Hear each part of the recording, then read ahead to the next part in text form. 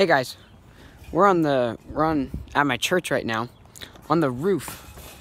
We're up high in the sky, cause um, apparently there's some raccoons that get up here. They like climb up the gutter or something. I don't know, but they've been ripping holes that we've had to fix, and we're up here setting a trap for them, but I just want to show you how cool it is to be up in the sky. Look at that. so far down. Um, hopefully we catch it.